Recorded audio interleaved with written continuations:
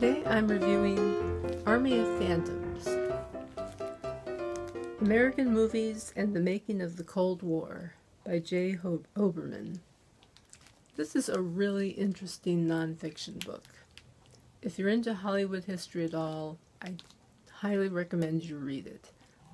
The book goes into all sorts of detail about the different aspects of the Cold War and how Hollywood contributed to it, not only in terms of the blacklist, but the movies that were made at that time the war movies, the, the sci fi movies, the horror movies, all of it.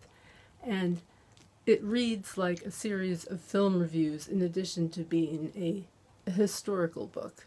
So it's highly entertaining. This guy really writes well and paints a picture for you.